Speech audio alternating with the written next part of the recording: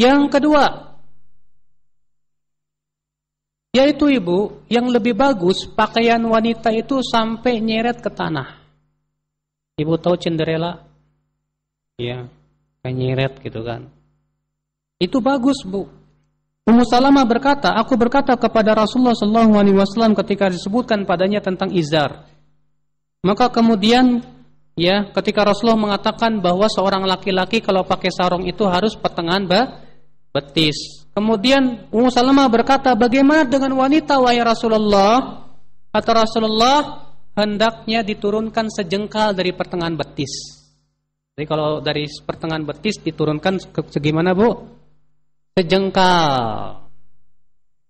Kemudian Ummu Salamah mengatakan, "Idzan yankashifu anha." Kalau begitu wahai Rasulullah, kalau diturunkan sejengkal dari pertengahan betis, Berarti pakaiannya eh, kakinya masih terlihat.